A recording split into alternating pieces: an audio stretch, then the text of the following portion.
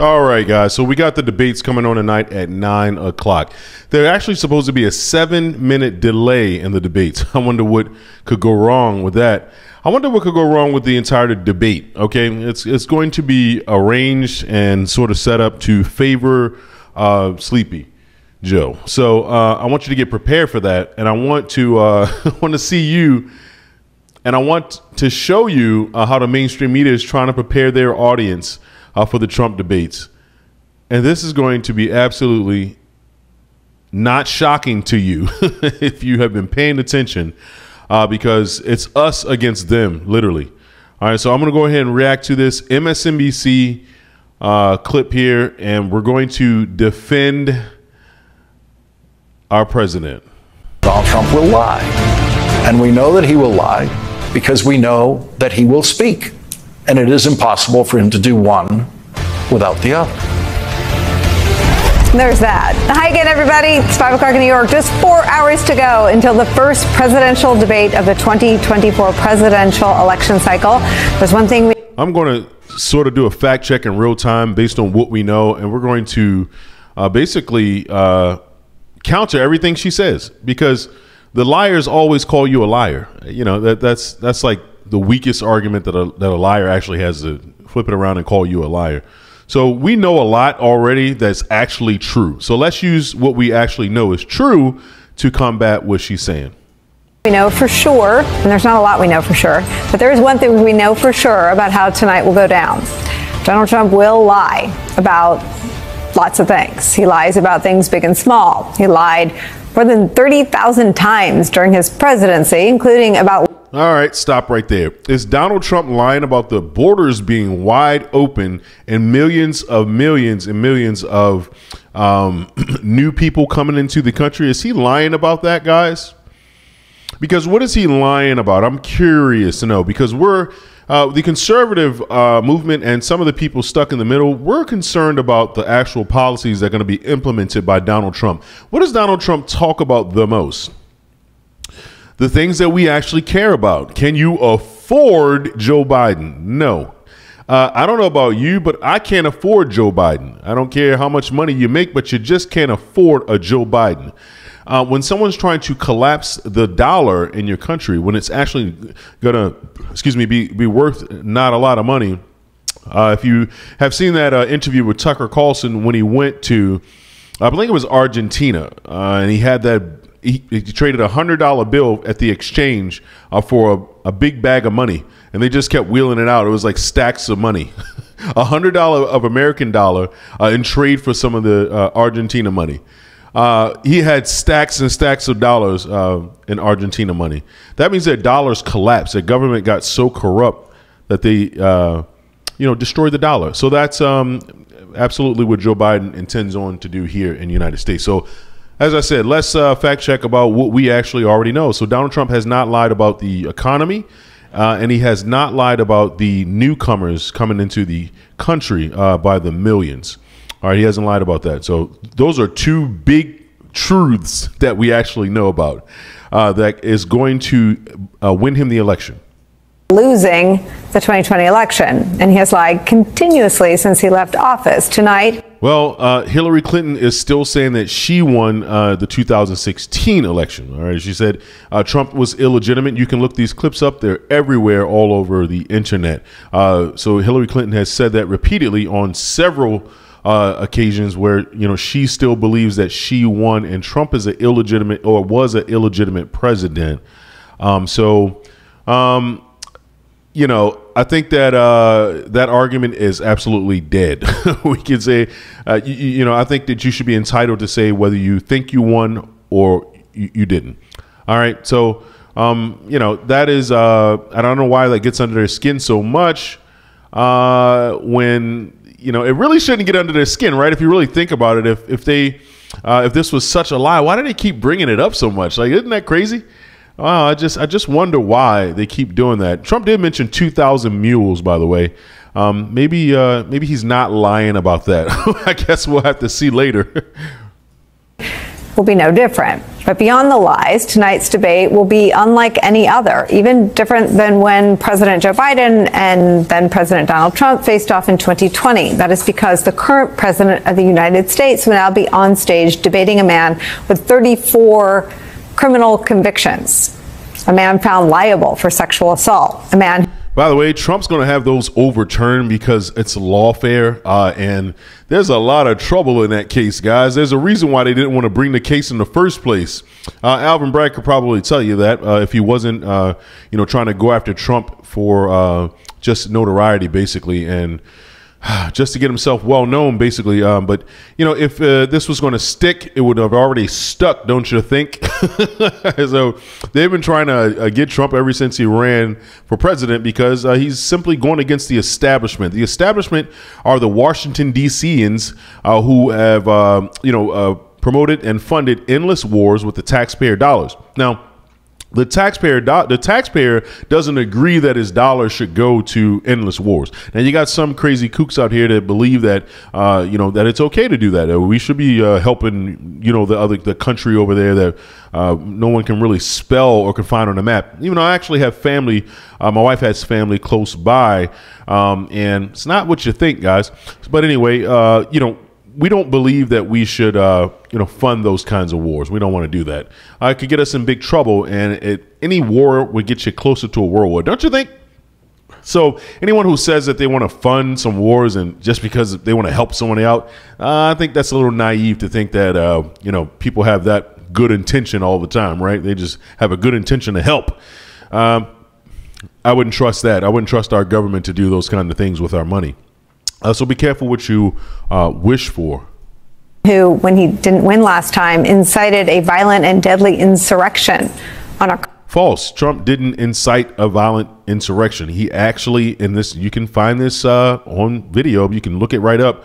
Uh, he asked everyone to go home and, uh, you know, actually, he asked them to march peacefully, first of all. Uh, and then when everything was over, he asked them to go home. Literally. Okay. Uh, so, and he actually uh, requested the National Guard be there three days before the January 6th. So, you know, Nancy Pelosi's choice not to do that, um, as we can uh, uh actually look up the information and find that right online as well uh, on the video. Uh, she was actually responsible for that, and Trump has a letter for Miriam Bowser, who is the mayor of Washington D.C., who also declined the National Guard. Uh, so that's a pretty big deal. Declining the National Guard for such a big event. Now, Trump has a lot of followers, uh, so it would make sense to have a National Guard there to keep uh, things under control. And who wouldn't want to do that? Um, but, you know, without a National Guard, um, yeah, it's probably going to be a little bit reckless when you got a lot of people and their feelings are involved. So, smart decision by Trump, bad decision by Nancy Pelosi and Miriam Bowser. Okay, so uh, the January 6th stuff is just absolute garbage. Really is. It really is. I mean, I you know, if it were if there were any truth to it, if it really looked like it was something serious, I would say it. I would, I would, I would be on uh, the side of uh, uh, people proposing that it was uh, such a big problem. and It was Trump's fault. I don't think it was Trump's fault. Trump actually did the right things. Uh, I would have probably done things a little bit differently because I'm a different person. But I think Trump made a really good decision on what he said, and it's on record. Uh, it's recorded. You can actually go look it up on your own. Country. Nothing about tonight is normal. As much as there are people who want to put this debate in terms of policy positions or foreign policy agendas that might come up, the contrast is actually a lot simpler. Uh, so policy is pretty simple. Okay, she's trying to tell you that uh, you don't have to worry about policy. Uh, it's not about that. It's actually more simple. It's it's simple. Yeah, policy is very simple. Either you want open borders or you don't. Either you you want a really good economy where you can afford your eggs, bread, and cereal, and whatever else you need uh, at an affordable price, like when Trump was in office before. Remember how uh, cheap things were when Trump was in office? Yeah, they were very cheap. I remember. Um, so they're telling you that that doesn't really matter uh, because your feelings about Joe Biden should be should be so strong. Actually, your feelings and your hate towards Trump should actually be so intensified that you don't even care about the policy. Let's see where she's going to go with that. I'm pretty sure that's that's what she's going to tell you. That one of these guys is better than the other guy because he's just a golden child. One candidate obeys and reveres the rule of law even when it ensnares his own son. The other loathes it, is running on entirely false. Uh, don't think Joe Biden has been following the law, okay, just because uh, he didn't pardon his son, okay? No, no, no, no, no, no. Not so fast, sweetheart. Uh, there has been a lot of proof, a lot of proof, a lot of checks, a lot of payments. Uh, when Hunter Biden was on the board of Burisma and Joe Biden had the prosecutor fired, all this stuff is in record, okay? Uh, and this is a big reason why Hunter Biden's in so much trouble. The laptop from hell, come to find out that was actually real. Okay. Joe Biden denied uh, knowing about his son's business deals, but we all know that that was also a lie. Okay.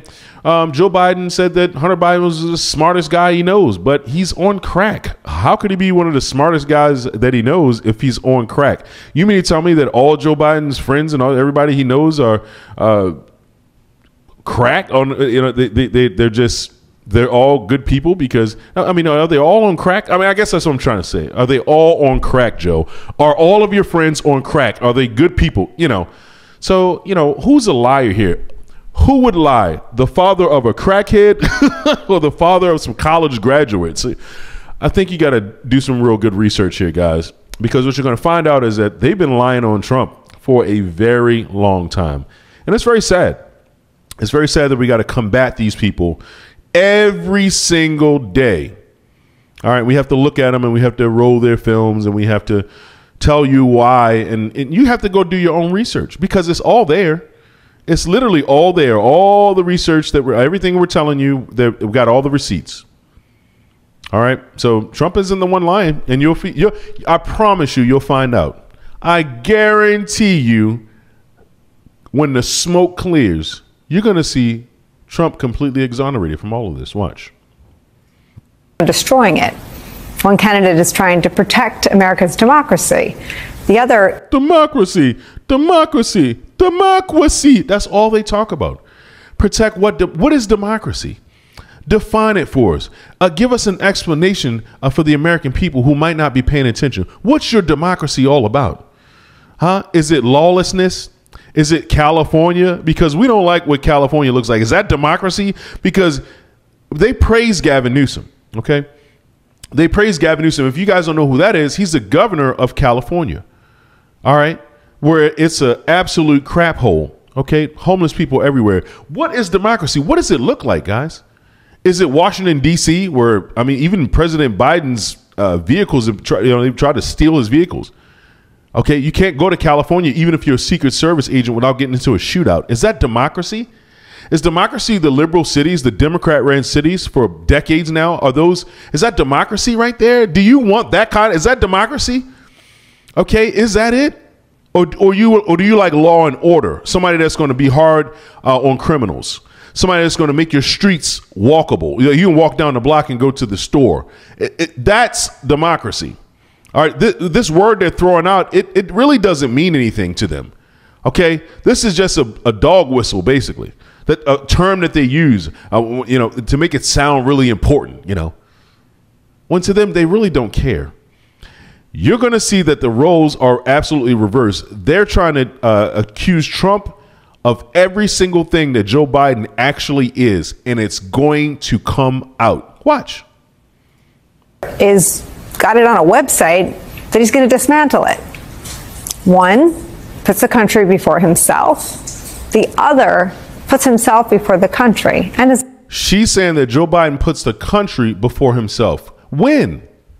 Anybody else out there struggling a little bit?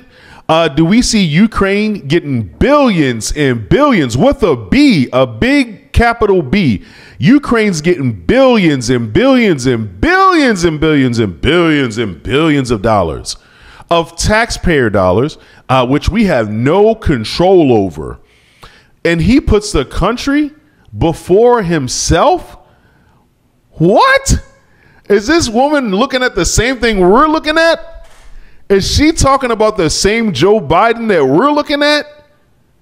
I don't think so. So, guys, the debates are going to be on at nine o'clock. I'm going to be there, rocking and rolling. I wish I could stream it live. They won't actually. CNN uh, has retained rights to the debates where they won't let YouTubers actually comment on it. Isn't that crazy? They don't. They don't want us to combat what they're saying. They don't want us to live stream it. Uh, but there, there are ways around it. But I'm just not that sophisticated on the programming yet. Uh, but I thank you for watching. And look, we're going to win this regardless. It doesn't matter. Listen, I don't care if Joe Biden,